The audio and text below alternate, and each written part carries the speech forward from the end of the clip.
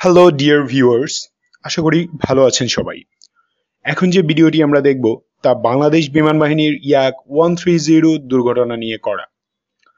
আপনারা হয়তো জানেন, সপ্তাহ কয়েক আগে আমাদের বিমান বাহিনীর একটি ইয়াক ওয়ান থ্রি জিরো যান্ত্রিক ত্রুটির কারণে ক্র্যাশ করেছে। দুর্ঘটনাটি ঘটেছে চট্টগ্রামের লোহাগড়ায়। এই ঘটনায় উভয় পাইলটই নিরাপদে ইজেক্ট করতে সক্ষম হয়েছেন। বাংলাদেশ এয়ারফোর্স দুই হাজার পনেরো সালে প্রথম এই ট্রেনার প্লাস লাইট অ্যাটাক এয়ারক্রাফটটি ফ্লিটে যোগ করে। প্রাথমিকভাবে ষোলোটি কেনা হলেও চলতি বছরের ফার্স্ট কোয়ার্টারে আরও হাফ স্কোয়াড্রন অর্ডার করা হয়। উক্ত দুর্ঘটনা তদন্তে বাংলাদেশ এয়ারফোর্স তৎক্ষণাৎ একটি টেকনিক্যাল ইনভেস্টিগেশন টিম ফর্ম করে এবং ইনভেস্টিগেশন শুরু করে দেয়। পরে রাশিয়ান অথরিটিও একটি টিম পাঠায় তদন্তে সহযোগিতা করার জন্য। আলটিমেটলি তদন্তে যদি এটি প্রমাণিত হয় যে জেট ট্রেনারটি ম্যানুফ্যাকচারিং ফল্ট বা ডিজাইন রিলেটেড কোনো ফল্টের জন্য ক্র্যাশ করেছে, তাহলে Russian state owned arms exporter রসমন এক্সপোর্টের জন্য ক্ষতিপূরণ দেবে।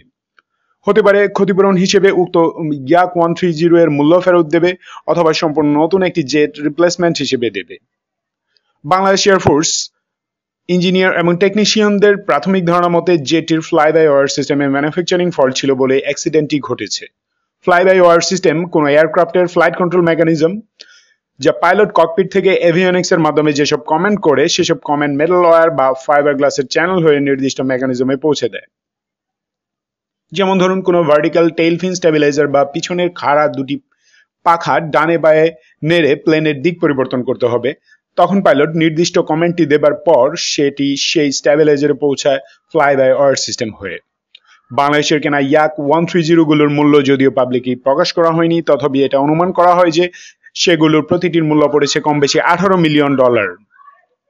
ভেজ ভার্সনের দাম পনেরো মিলিয়ন ডলার। যেহেতু বাংলাদেশ এটিকে ট্রেনার কাম লাইট ফাইটার হিসেবে কিনেছে, তাই এতে লাইট ফাইটার সাব সিস্টেমের খরচ যোগ হবে।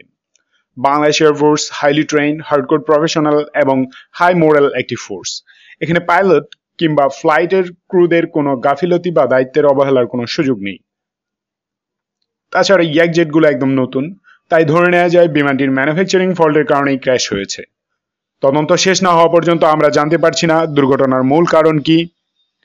ধন্যবাদ ভিডিওটি দেখার জন্য। আমাদের সাপোর্ট করুন ডিফেন্স আপডেট বাংলাদেশ চ্যানেলটি সাবস্ক্রাইব করে এবং উৎসাহ দিন আরও ভিডিও নিয়ে হাজির হতে।